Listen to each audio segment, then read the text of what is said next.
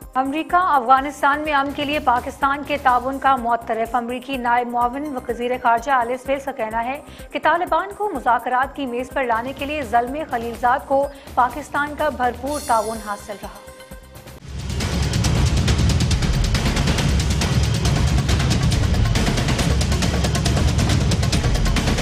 अमरीकी नए मोमिन वज़ीर खारजा एलिस वेल्स ने अफ़गानिस्तान में अमल के लिए ठोस ताउन पर पाकिस्तान की तारीफ़ की और इस बात को उजागर किया कि बाहिमी ताल्लुकात का मुस्तबिल इस्लामाबाद की जारी हिमायत पर मुनहसर है। ऑनलाइन मीडिया ब्रीफिंग में गुफ्तु करते हुए उनका कहना था कि तालिबान को मुजाकरात की मेज तक लाने के लिए गुजशत साल हमने सिफारत सिफारतकार में खलीलजाद और पाकिस्तान की सिविल मिलिट्री क्यादत में ठोस ताउन देखा। उन्होंने इस बात पर ज़ोर दिया कि अमरीका और पाकिस्तान की मज़बूत शराकत दारी की बुनियाद हमारी एक दूसरे के साथ मिलकर अम के लिए तामीरी काम करने पर मुहित है।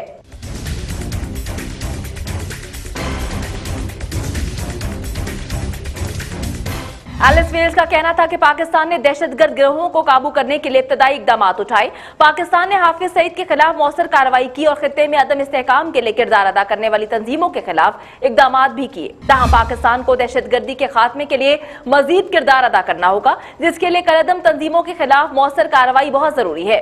एलिस वेल्स का मजीद कहना था कि अमरीका और पाकिस्तान के ताल्लुकात बिलखसूस बाहिमी तजारती ताल्लुकात में इस्लामाबाद की जानब से खत्े में अमन के लिए कोशिशों के नतीजे में तोसी हुई है।